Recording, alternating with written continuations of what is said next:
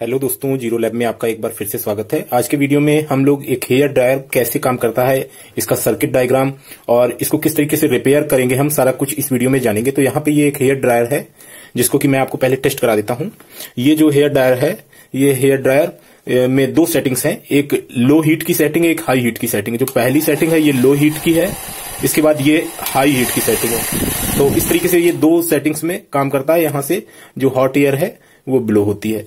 तो इसको सबसे पहले हम लोग खोल के देख लेते हैं कि इसके अंदर कौन कौन से पार्ट्स होते हैं और वो एक दूसरे के साथ कैसे अटैच होते हैं। तो सर्किट डायग्राम भी इसका हम देखेंगे और इसके अंदर के पार्ट्स हम देख पाएँगे ये किस तरीके से काम करता है। तो यहाँ पे आप देख पा रहे हैं, यहाँ पे दो स्क्रूज लगे हुए हैं जिनको हम रिमूव कर लेंगे और इसके बाद इसको हम खोल पाएँगे।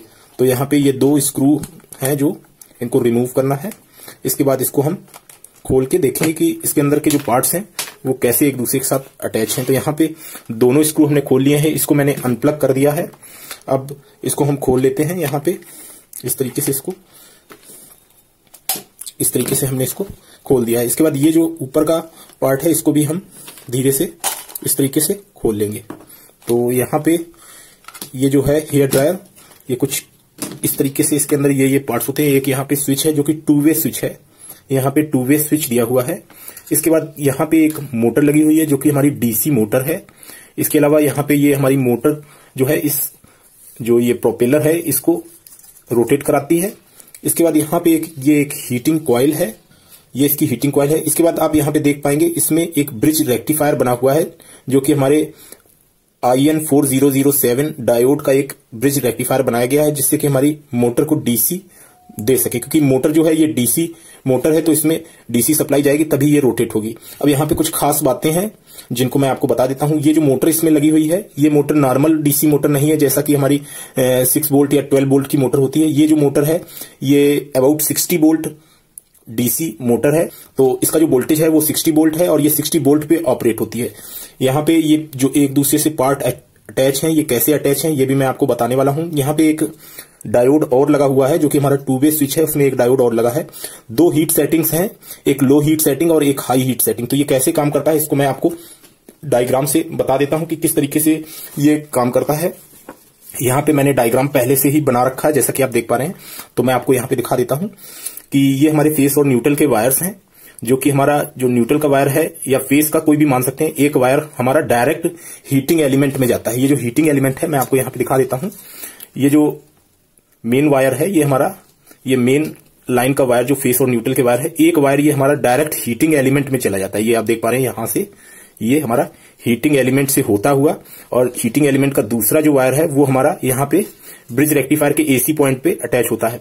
और दूसरा जो वायर है मेन लाइन का, वो हमारा इस टू वे स्विच के द्वारा टू वे स्विच में वन टाइम जब हम प्रेस करते हैं तो ये हमारा जो डायोड है डायोड से होके करंट जाता है। दूसरे टाइम पे जब हम हाई सेटिंग में डालते हैं तो ये डायरेक्ट हमारा इस डायोड से ना होकर डायरेक्ट हमारा इस ब्रिज रेक्टिफायर के एसी पॉइंट एक साइड पे एसी पॉइंट हमारा क्वाइल से अटैच है, दूसरा हमारा डायरेक्ट यहाँ पे जुड़ता है। तो यहाँ पे मैं आपको दिखा देता हूँ कि एक वायर हमारा डायरेक्ट हीटिंग एलिमेंट में चला गया और ये हमारा ब्रिज रेक्टिफायर जो बनाया है, इसमें ब्रिज रेक्टिफायर ये दो डायोड्स हैं। ये एसी पॉइंट एक एसी पॉइंट हो गया ब्रिज रेक्टिफायर का, ये दूसरा एसी पॉइंट हो गया पॉजिटिव पॉजिटिव यहाँ पे और निगेटिव निगेटिव यहाँ पे मोटर के साथ अटैच हो गए। तो ये जो वायर है, एक हमारा डायरेक्ट ब्रिज रेक्टिफायर के साथ में अटैच हो गया एसी पॉइंट पर दूसरा एसी पॉइंट जो ब्रिज रेक्टिफायर का है, ये हमारा स्विच से कनेक्ट हो जाता है। एक जगह पे डायरेक्ट स्विच से कनेक्ट है, एक जगह पे हमारा यहाँ पे डायोड के थ्रू स्विच से कनेक्ट है। तो जब हम स्विच जो है लो हीट सेटिंग में लो हीट सेटिंग पॉइंट में कनेक्ट करते हैं, तब हमारा ये जो करंट है, ये हमारा करंट इस वाले डायोड से होके गुजरेगा। तो चूँकि इस वाले डायोड से होके गुजरेगा, तब हमारी हाफ़ साइकिल ही इस हीटिंग एलिमेंट को गर्म करेगी और उसी हिसाब से हाफ़ साइकिल की वजह से मोटर जो है वो स्लो स्पीड में रन करेगी। क्योंकि यहाँ से हमारा ब्रिज रेक्टिफायर में जब इस डायोड से जाएगा तो यहाँ पे चूँकि ये पॉजिटिव यहाँ पे निकलेगा और ये पॉजिटिव हमारा जब यहाँ पे निकलेगा तो ये पॉजिटिव साइड वाले जो डायोड है, इससे ना होके हमारा इस वाले डायोड से ही होके जा पाएगा। तो हाफ़ साइकिल ही जाएगी, इसलिए यहाँ पे हमारी मोटर जो है वो स्लो रन करेगी और इसमें हीटिंग एलिमेंट में भी कम जो करंट है वो कम पहुंचेगा। यहाँ पे जब हम इसको हाई सेटिंग वाले, इस वाले पॉइंट से कनेक्ट करेंगे तो ये हमारा चूँकि फुल वेव रेक्टिफायर है, यहाँ पे फुल ब्रिज हो जाएगा। तो ऐसी कंडीशन में नीचे और ऊपर की साइकिल दोनों साइकिल्स जो हैं, वो दोनों साइकिल्स हमारी इस ब्रिज रेक्टिफायर से होके जाएँगी, जिससे कि हमारी मोटर भी फास्ट रन करेगी और साथ में हमारे हीटिंग एलिमेंट में भी फुल साइकिल का करंट पहुंचेगा, जिससे हीटिंग एलिमेंट भी हमारा काफ़ी तेज गर्म होगा। तो ये प्रोसेस होता है एक हेयर ड्रायर में। अब मैं आपको यहाँ पे बता देता हूँ कि इसमें अगर हमारा ब्रिज रेक्टिफायर फेल हो जाता है, ऐसी कंडीशन में हमारी मोटर जो है रन नहीं करेगी। हीटिंग एलिमेंट जो है, अगर ब्रिज रेक्टिफायर शॉर्ट हो जाता है तो हीटिंग एलिमेंट में डायरेक्ट करंट पहुंचेगा, जिससे कि हमारा हीटिंग एलिमेंट जो है, ये बर्न हो जाएगा। और पूरा चूँकि इसमें और कोई भी सेफ्टी के लिए यहाँ पे फ्यूज वगैरह जो लगा हुआ होता है, वो फ्यूज नहीं लगा है। तो इस तरह के जो हेयर ड्रायर है, इनमें सेफ्टी के लिए कोई भी अलग से कंपोनेंट नहीं लगा है, ना तो थर्मोस्टेट लगा है, ना ओवर हीट प्रोटेक्शन में जो फ्यूज होता है ओवर हीट प्रोटेक्शन के लिए जो ब्लो हो जाता है ओवर हीट होने पे ऐसा कोई फ्यूज भी नहीं लगा है।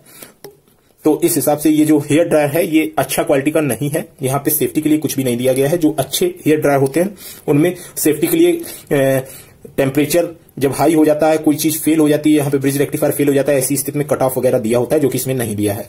तो अगर यहाँ पे हमारा हीटिंग एलिमेंट अगर ब्लो हो जाता है या जल जाता है, खराब हो जाता है तो ऐसी स्थिति में भी हमारी मोटर नहीं रन करेगी। तो मैं समझता हूँ कि इस वीडियो में आपको हेयर ड्रायर सर्किट के बारे में मैंने एक्सप्लेन कर दिया है। हेयर ड्रायर कैसे काम करता है, इसका सर्किट डायग्राम कैसा होता है, ये सारा कुछ हम इस वीडियो में जान चुके हैं। तो आज के वीडियो में इतना ही। Thanks for watching have a nice day